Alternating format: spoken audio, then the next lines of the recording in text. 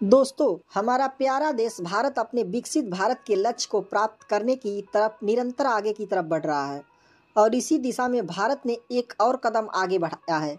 दोस्तों, आपको बता दें कि भारत की सबसे व्यस्तम हवाई अड्डों में से एक दिल्ली का इंदिरा गांधी इंटरनेशनल हवाई अड्डा इस समय सुर्खियों में है, क्योंकि यहाँ पर चालू होने जा रहा है भारत का पहला एयर ट्रेन की सुविधा। दोस्तों, आने वाले कुछ सालों में दिल्ली एयरपोर्ट पर एयर ट्रेन की सुविधा चालू कर दी जाएगी।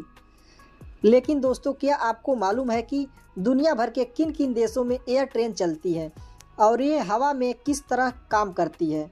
और यह प्रोजेक्ट भारत में कब तक पूरा हो जाएगा और इसमें भारत सरकार की कितनी पैसा खर्च होने वाला है? पूरी जानकारी विस्तार से जानेंगे तो वीडियो में अंत तक बने रहिएगा। नमस्कार दोस्तों, कैसे हैं आप सब? आशा करता हूँ आप सब ठीक होंगे। दोस्तों, आपको बता दें कि राजधानी दिल्ली का इंदिरा गांधी इंटरनेशनल एयरपोर्ट देश ही नहीं, बल्कि दुनिया भर के सबसे व्यस्तम और बड़े एयरपोर्टों में से एक माना जाता है। दिल्ली एयरपोर्ट से हर दिन हज़ारों यात्री उड़ान भरते हैं। उनमें बड़ी संख्या में वे इंटरनेशनल पैसेंजर भी होते हैं, जिनकी कनेक्टिंग फ़्लाइट होती है, या फिर वे एयरपोर्ट के टर्मिनल एक पर पहुंचकर फिर टर्मिनल दो या तीन पर जाने के लिए सड़क मार्ग का इस्तेमाल करते हैं।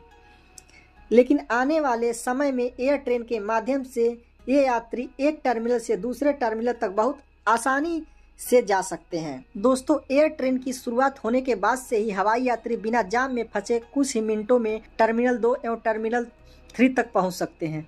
इस एयर ट्रेन के रूट की कुल लंबाई सात दशमलव सात किलोमीटर होगी। और यह महज चार स्टाफ, टर्मिनल एक, टर्मिनल दो और टर्मिनल थ्री, एरो सिटी और कार्गो सिटी पर रुकेगी। मीडिया जानकारी के मुताबिक, इस प्रोजेक्ट को साल 2027 के अंत तक पूरा करने का लक्ष्य निर्धारित किया गया है। इस प्रोजेक्ट के लिए डायल ने टेंडर भी जारी कर दिया है और संभावना है कि आगामी अक्टूबर, नवंबर तक टेंडर के लिए बिडिंग प्रोसेस भी शुरू हो जाएगा। इस पूरे प्रोजेक्ट की कुल लागत करीब 2000 करोड़ रुपए बताई जा रही है। दोस्तों, इस एयर ट्रेन को डीटीसी की फीडर बसों के विकल्प के तौर पर पेश किया जाएगा। दोस्तों, दिल्ली एयरपोर्ट से हर साल सात करोड़ से अधिक यात्रियों का आवागमन होता है। जिस तरह एयर पैसेंजर की संख्या साल दर साल बढ़ती जा रही है, अनुमान है कि अगले छः से आठ वर्षों में यहाँ से करीब तेरह करोड़ यात्रियों का आवागमन होगा। इन यात्रियों के अनुमान के अनुसार करीब पच्चीस परसेंट ट्रांजिट पैसेंजर होते हैं, जिन्हें टर्मिनलों के बीच आना जाना होता है। फ़िलहाल फीडर बस के ज़रिए ऐसे पैसेंजर को एक टर्मिनल से दूसरे टर्मिनल तक ले जाया जा, जाता है। एक फ़्लाइट के पैसेंजर के लिए तीन चार बस भी कई बार कम पड़ जाते हैं। ऐसे में एयरपोर्ट पर एयर ट्रेन सर्विस पैसेंजर के साथ साथ ऑपरेटर एजेंसी के लिए भी फ़ायदेमंद होगी। इस सर्विस के शुरू होने के बाद खासकर कनेक्टिंग फ़्लाइट वाले पैसेंजर को काफ़ी राहत मिलेगी।